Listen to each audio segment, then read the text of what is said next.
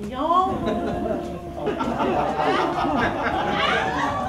a way, it's like a circus act. So that's that's entertaining in and of itself. This particular day is like a relay race. The writers have the baton and the gun goes off, and then you hand the baton off to the director.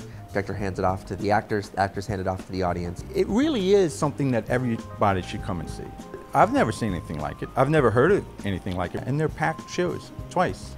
Paying audience. People are paying to see it. There's people I think that really like to see um, what is going to happen. It's jam packed into a day. You don't have the luxury to practice and rehearse everything.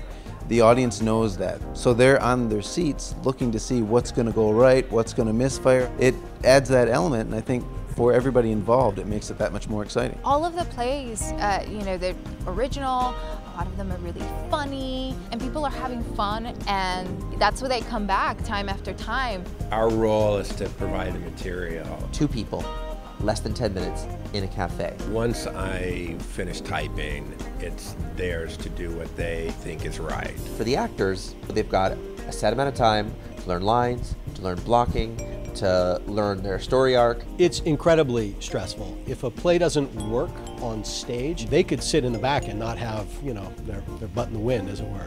Yeah, the actors on stage, you live and die by. it. We read through it a couple of times and then we take some time and look at the lines and read through it again and again and again. You're never ready, ever when you go on stage, generally. I'm never ready, but that's even more intense when you're at the cafe plays. It is so exciting to sit in an audience, in people that really don't know, maybe don't know you or don't know you've written it, and watch them enjoy it. There, there's no better high. I know that if I'm having fun writing it, the actors are likely to have fun performing it, and the audience is most likely to enjoy it.